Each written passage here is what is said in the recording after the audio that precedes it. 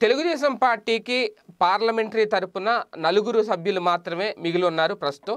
అయితే అందులో ఒకరు రాజ్యసభ మిగిలిన ముగ్గురు లోక్సభ. ఓకే రాజ్యసభ విషయం పక్కన పెడితే కనుక లోక్సభలో ఉన్న ముగ్గురు ఎంపీలు అంటే కేసినేని నాని కానీ గల్లా జయదేవ్ కానీ లేదంటే కింజారపు రామ్మోహన్ నాయుడు కానీ వీళ్ళ ముగ్గురు విషయంలో ఇప్పుడు ముగ్గురు అసంతృప్తితో ఉన్నారు రకరకాల అసంతృప్తితో అనేది ప్రధానంగా జరుగుతున్న ప్రచారం. ఈ అసంతృప్తి కొంప ముంచే అవకాశం కనిపిస్తుంది భవిష్యత్తులో అనేది. ఎందుకంటే తాజాగా కేసీఆర్ నాని గారు చేసిన ట్వీట్తో ఆయనలో అసంతృప్తి ఏంటి అనేది బయటపడింది.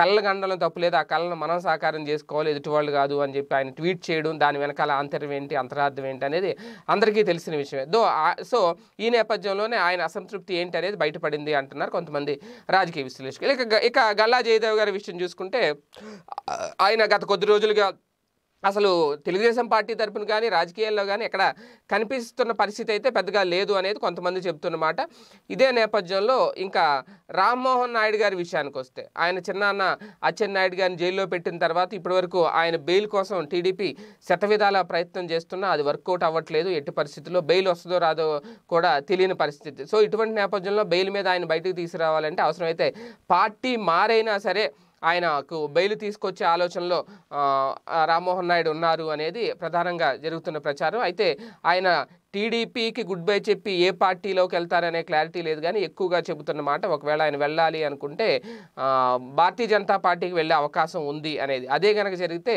బీజేపీకి ఒక ఎంపీ దక్కే అవకాశం ఉంటుంది అనేది కూడా ఒక ప్రచారం జరుగుతుంది. టీడీపీ గుడ్ బై చెప్పి ఆయన బీజేపీలో చేరే అవకాశాలు ఎక్కువగా ఉన్నాయి అనేది ప్రధానంగా జరుగుతున్న ప్రచారం. ఇక మిగిలిన ఇద్దరు విషయంలో వాళ్ళు ఏ పార్టీలో ఉంటారు ఏ పార్టీలోకి మారుతారు అసలు లేదా ఇంకా అలాగే కొనసాగేస్తారా అసంతృప్తి వెళ్ళగక్కుతూ అనేది కూడా తెలియాల్సిన అంశం. కానీ మొత్తం మీద ఇప్పుడున్న పరిస్థితుల్లో ఒకవేళ వాళ్ళు ఏం మాట్లాడినా బహిరంగంగా ఏదైనా అన్నా దా- వాళ్ళ మీద చర్యలు తీసుకునేందుకు కూడా సిద్ధంగా లేదు తెలుగుదేశం పార్టీ అనేది మరొక ప్రచారం. సో మొత్తానికి ఇప్పుడున్న పరిస్థితుల్లో ఉన్న ముగ్గురు ఎంపీల్లో లోక్సభకు చెందిన ముగ్గురు ఎంపీల్లో ఒక ఎంపీని కోల్పోబోతోంది తెలుగుదేశం పార్టీ అనే ప్రచారం అయితే ఊపందుకుంది.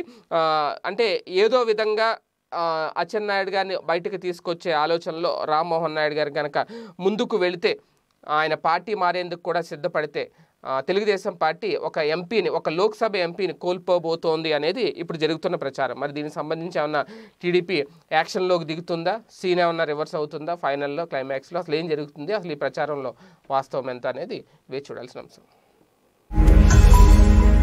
ఈ వీడియో గనుక మీకు నచ్చినట్లయితే లైక్ చేయండి షేర్ చేయండి. మరిన్ని వీడియోస్ కోసం మా ఛానల్ను సబ్స్క్రైబ్ చేయండి.